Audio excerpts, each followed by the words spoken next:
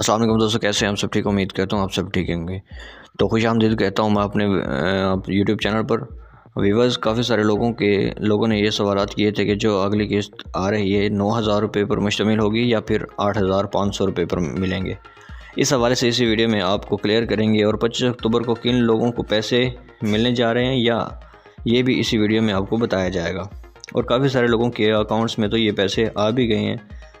और कौन से लोग हैं जिन्हें ये किस्तें मिल रही हैं और कफल प्रोग्राम की जो अक्टूबर का दिसंबर की किस्त है, वो कब तक जारी होगी?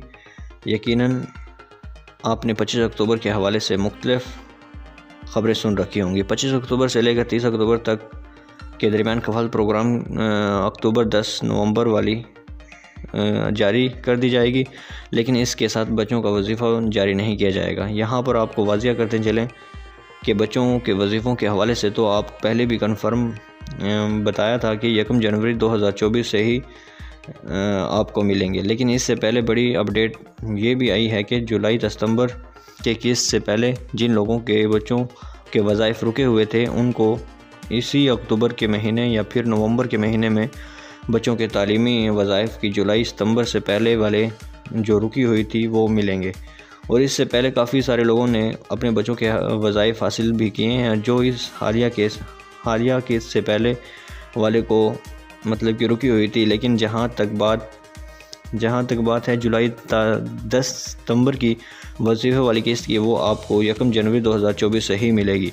जो अक्टूबर जो अक्टूबर ता, दिसंबर की बच्चों की तालीमी तालीमी किस्तों की, वो भी आपको यकम जनवरी में एक साथ ही मिलेंगी। लेकिन यहाँ पर यहाँ पर एक अहम अपडेट आती है कि अक्टूबर तक दिसंबर की जो कफल प्रोग्राम की किस्त है, वो आपको 25 अक्टूबर से क्यों मिलने जा रही है? सबसे पहले तो आप ये जहन नशीन कर लें कि ऊपर सिलेक्शन का टाइम हो रहा है। इस हवाले से मुख्तलिफ़ ज़राए ने यह ख़बर भी शाये की है कि उन्हें इलेक्शन की वजह से दो महीने पहले कफल प्रोग्राम की रेगुलर ट्रांस ट्रांस को जारी करने का फ़ैसला किया गया है। लेकिन इस इसके भी दो रुख हैं। यहाँ पर आपको बताते चलें कि ऐसे अफराद जिन्होंने जनवरी या फरवरी 2023 तक अपना डायनमिक सर्वे करवा लिया था या इससे पहले वो नाहिल थे या किसी और मसले का शिकार थे, वो अब अहल अहल हुए हैं और उनको 25 अक्टूबर से कफल प्रोग्राम की किस्तें मिलना शुरू हो गई हैं। फिर इसी अपडेट का दूसरा रुख ये है कि कफल प्रोग्राम की जो रेगुलर ब्रांच है,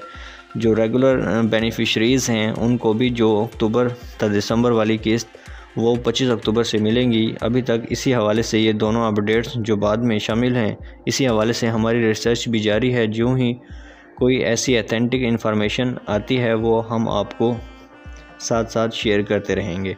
लेकिन ये कन्फर्म है कि ऐसे अफराद जो पहले से कफल प्रोग्राम का हिस्सा नहीं थे और जनवरी या फरवरी तक उन्हें, उन्होंने अपना डायनमिक सर्वे करवा लिया था या फिर नए सिरे से अपने रजिस्ट्रेशन करवाई थी तो अब वो अहल हैं। अहल कर दिए गए हैं और उन्हें 25 अक्टूबर से कबल प्रोग्राम रेगुलर नौ नौ हज़ार रुपये मिलना भी शुरू हो जाएँगी।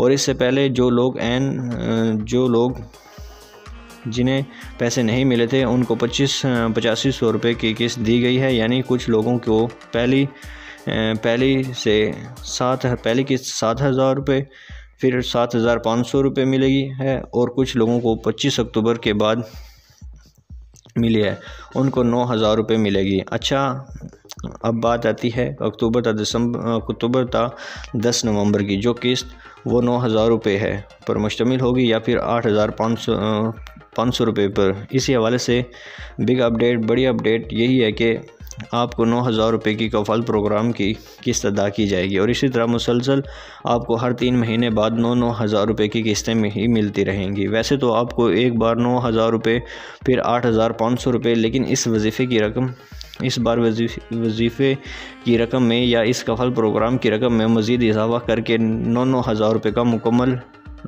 कर दिया गया है।